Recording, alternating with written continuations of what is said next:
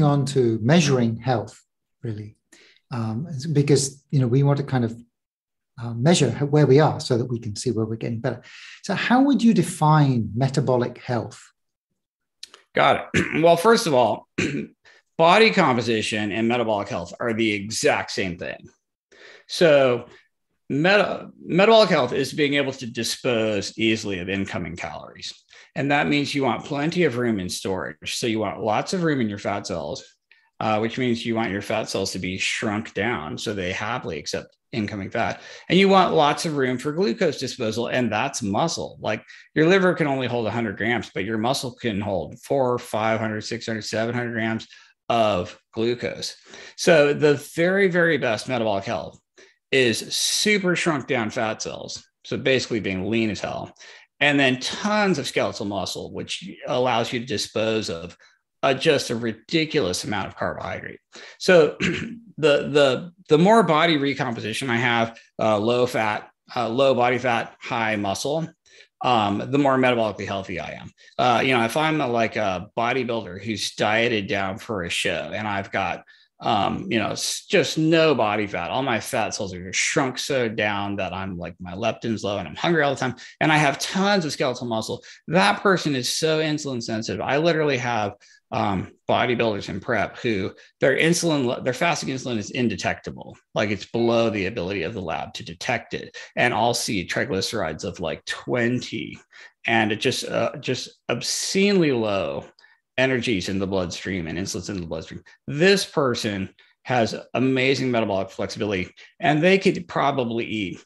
Uh, we'll see um, really muscular people eating six, seven, eight hundred grams of carbohydrate and it literally just falls into their muscles and is whoop, gone. It doesn't even take insulin to get rid of that. It just falls into the muscles down a concentration gradient. You have uh, bodybuilders doing a, a carb load uh, the a couple days before their show to to pump up all the muscles with glycogen so they look bigger, and they might up, eat up to a thousand grams of carbohydrate, and it just literally falls into the muscle as glycogen down a concentration gradient. They'll they'll do a, a, glycogen depletion first, where they no carbs for three days and do a massive workout to just deplete every bit of glycogen out of their muscles, and then they can eat, you know, 800, 900,000 grams of carbs, and it just whoop, sucks into their muscle and is gone. Uh, these these very lean people, you uh, give them an oral fat tolerance test where you drink 100 grams heavy cream and they watch your triglycerides go up and come back down. It's like a glucose tolerance test but with fat. And these people, their whole curve is so low, like they get tiny spike of triglycerides way back down to very very low. That's metabolic health. They can just consume an insane amount of carbs, fat, whatever, doesn't matter the calories just are immediately gone. The fat cells suck the fat right out of the bloodstream on the very first pass. The glucose just falls into the muscle down a concentration gradient without even requiring insulin. Um, so, the very, very best metabolic health is the very, very best body composition lowest fat, smallest fat cells, um, tons of muscle and tons of room in muscle. And to get that, you have to not only do resistance training to build as much muscle as possible, but you have to do cardio to deplete glycogen out of the muscle regularly. So it has larger uh, glycogen stores and is more readily absorbing glycogen. So your very, very best metabolic health people look like bodybuilders and bikini models. They have tons of muscle from resistance exercise and protein. They have uh, they're doing tons of cardio to, deplete all the glycogen out of those muscles, and they've uh, avoided non-protein energy calories like carbs and fats to keep their fat cells as small as possible. These are the most insulin sensitive people on earth. These are the have the most metabolic health. That should be everyone's goal. Basically, the same body recomposition that makes you look good naked is giving you good metabolic health. So, uh, body composition and metabolic health is the exact same thing. Now, you've got all these over fat people who are pre diabetic, and, you know, I've got diabetics who are like, oh, I can never eat any carbs because my my sugar immediately jumps up 100 points.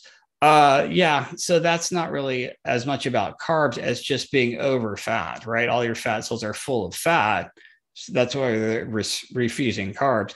So that comes down to you basically can't eat carbs or fat because they're all making you metabolically uh, unhealthy. So the secret there is to target protein so you can automatically eat um, fewer carbs and fats to get thinner and lose more fat, and then do more cardio to burn more calories, have an higher, higher energy flux, deplete your muscle glycogen, do resistance exercise to build more skeletal muscle, uh, do resistance training and eat protein so you can build more skeletal muscle. Now you've got bigger depots for storage. You got more muscle, uh, empty your fat cells, and it's all about basically targeting the hell out of protein for satiety and lean mass resistance exercise to build as much muscle as possible, cardio to deplete all these tissues of glycogen, and uh, that's kind of that's kind of the secret, and that's uh, yeah, that's basically all you need to know. So, what uh, body fat percentage would you target for like a, a regular person, not a bodybuilder? right, right, right. So if, if you just put a gun to my head and said, what is the very, very, very best body fat percent for humans? To optimize, you know, function, feeling good, looking good, performance, metabolic health, I would say 12% for men and 22% for women. Now there's like huge genetic flux there. Like some people are just genetically way lower. Um, you know, some people are genetically way higher. So there's massive individual genetic differences. But if I was just looking at the entire population and you're like, what is the best body fat for overall, you know, and it's on a U-shaped curve because if you get too thin, then women lose their periods, men's testosterone goes down, you don't your reproductive function goes down. Um, but if you get too fat, the same thing happens. You know, men convert all their testosterone into estrogen, they have aromatization, and um, women turn into men and men turn into women. And like, like it, it's a U-shaped curve, and the optimum is right in the center. And if you were like, what is the very center of that curve? I would be like, okay, 10 to 15% for men, like 12 would be optimum. And then, you know, 20 to 25% for women, with like 22 being just optimum on average. These are averages though. Right. Yep. So quick, um, if somebody comes into your your clinic, right, and you you you want to judge their health, what are the markers that you see as most important? Gotcha. Well, the, the easiest, cheapest, best thing is a waist circumference and more specifically a waist to height ratio.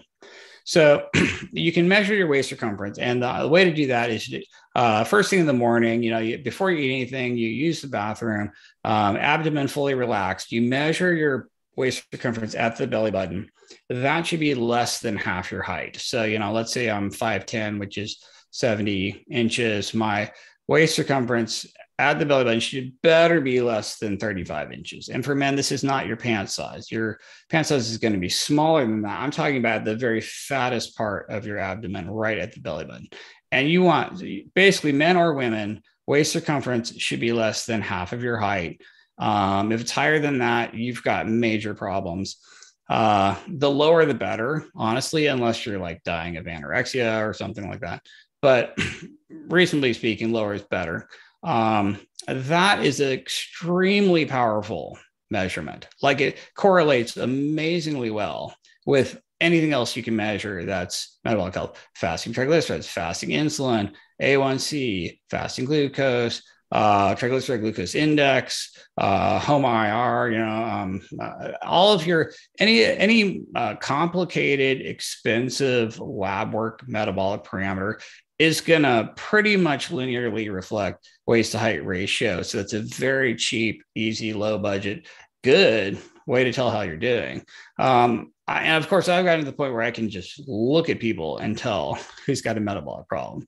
So, uh, you know, and uh, you're basically looking at just that abdominal area at the belly button. So I have, um, you know, patients from who are skinny fat, who are, have very low personal fat threshold. They don't have very many fat cells. They can't make very many fat cells. Maybe they're from East Asia, they're from India or something, and they might only be five or 10 pounds overweight, but it's all just sticking out right at the belly button, especially in men. And that's someone who's going to have a metabolic issue, even though they look pretty thin everywhere else. And so this, this, this waist size right in the belly button is probably the most important thing that your average person could be focusing on and it's cheap and it's well it's free and it doesn't even require a blood draw um, when it comes to lab work uh, things that i like fasting triglycerides are amazing you want low fasting triglycerides. You want to basically fast for nine to 12 hours. Uh, uh, the textbooks say that that should be under 150 milligrams per deciliter, uh, but it better be under 100. Um, you know, uh, you want to be under 70 to be elite. Yeah. So anyway, fasting triglycerides very, very good. Lower is better. You could check a fasting insulin level, but it's kind of expensive, and and uh, most people don't have access to that.